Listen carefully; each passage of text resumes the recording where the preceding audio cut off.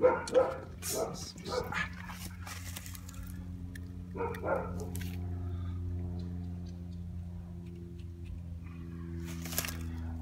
little buddy. I think it kind of hurt.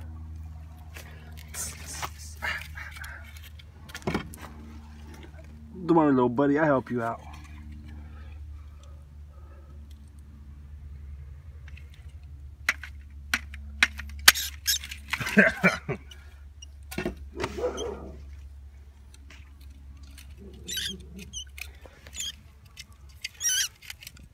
Sorry, little buddy.